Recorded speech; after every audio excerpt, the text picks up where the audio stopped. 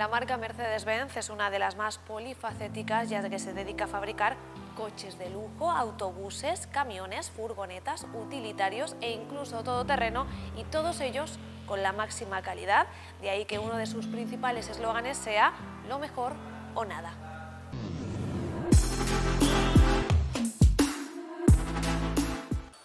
La marca alemana surgió a principios del siglo XX en Stuttgart bajo el nombre de Automóviles Daimler, pero no fue hasta 1937 cuando incorporó su tradicional emblema de tres puntas que simbolizaban tierra, mar y aire en relación a los diferentes motores que fabricaban.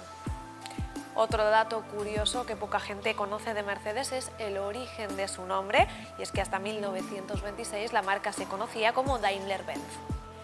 El nombre está relacionado con el apodo cariñoso con el que Emil Jelinek, cónsul diplomático y empresario austrohúngaro, se dirigía a su hija y que le puso también a 36 vehículos Daimler que encargó antes de que la marca se consolidase, apodándolos Daimler Mercedes. Otro de los ámbitos en los que Mercedes fue pionero es en la fabricación de motocicletas y es que en 1985 Daimler fabricó la primera moto de la historia incorporando un motor vertical de un solo cilindro a un cuadro de madera de una bicicleta.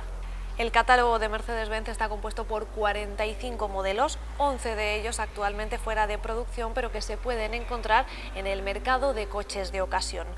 Su nomenclatura es todo un misterio y se desconoce por qué se le dan diferentes letras a los modelos, pero generalmente va la palabra clase acompañada de una, dos o tres letras, salvo excepciones como la furgoneta Vito, Viano o Citán y en general todos los camiones y autobuses.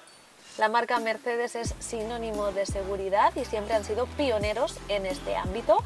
De hecho, en 1971 fueron los primeros en patentar el airbag y posteriormente los primeros en incorporar los sistemas ABS y ESP.